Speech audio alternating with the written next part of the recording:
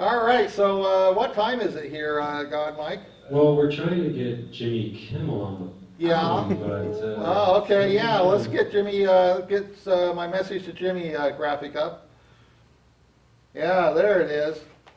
So uh, this message is for Jimmy Kimmel. Jimmy, I'm David Glamour Dave Nienow, and I have I host the So Not So Late Night Glamour Dave show uh, here at RVTV, and this is a new segment that is devoted to you. I'm going to use this opportunity to, at times, to send a message to you uh, about your you, your show, your guests, whatever uh, comes across my mind, and then I will create a clip of this, put it on my Twitter, and connect to your official Twitter feed, and uh, and try to get your attention because I want to have you on my show, possibly as a Skype live uh, interview.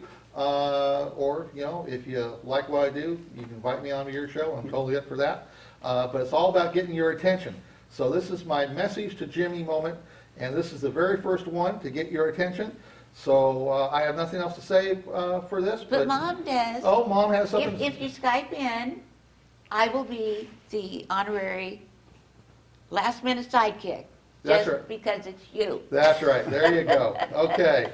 And we'll that- make him a painting. Yeah, okay, there you go. And uh, so this ends my message to you, Jimmy Kimmel.